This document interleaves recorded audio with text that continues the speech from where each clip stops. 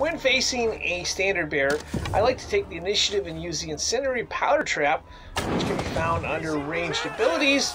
If we've got enough adrenaline, we can use it. We only get one shot though, so we're going to follow it up with more arrows.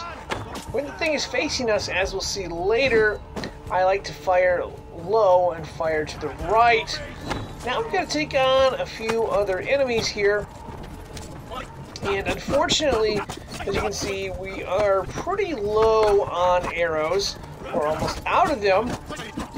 So we're gonna, after we defeat everyone else, we're gonna be faced with this other standard bearer, and we pretty much only have one arrow. So what exactly do we do in this spot?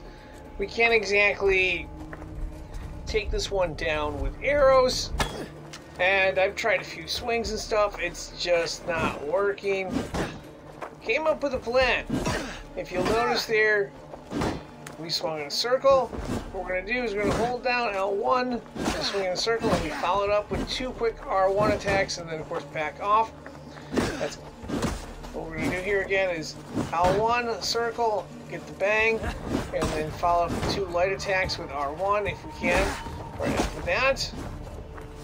And that method, while taking a while, actually worked to whittle this thing down. And that's good because we didn't have any arrows to take care of it. And as always, if you're looking for more tips on this game, there's a playlist on this channel to make it easier to find. I'll put a link in the description as well as a link in the comment section. Thanks for watching.